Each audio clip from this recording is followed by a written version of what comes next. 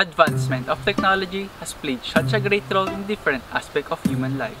In science, one great example would be biotechnology, specifically genetic engineering.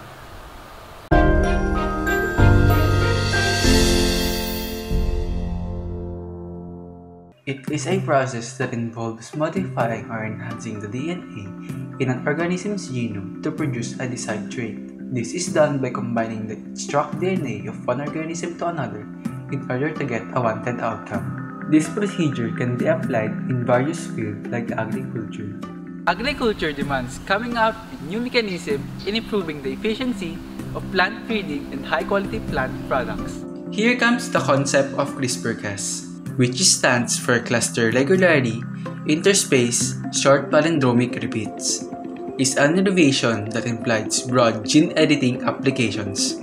This technology is used for advanced and precise breeding, allowing experts to select and modify specific sequence in a plant material. This specific technique is also relevant in resolving issues concerning agronomy like growing global demands, biosecurity, and climate change.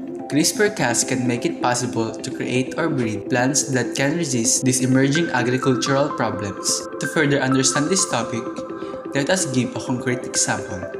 One application of this process is making a plant disease resistant.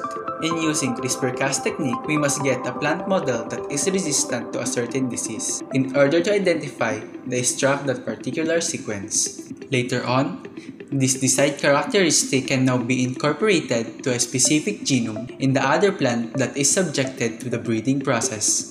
This will then lead the formation of the wanted end result and bring out a viable change, improving efficiency and creating a solution on the issue regarding biosecurity. This technique has been beneficial to most countries all over the world, including the Philippines.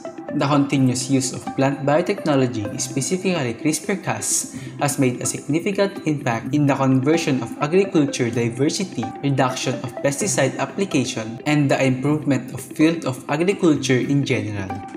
This just proves that modern technology can bring out beneficial innovation as long as it is utilized in a responsible approach.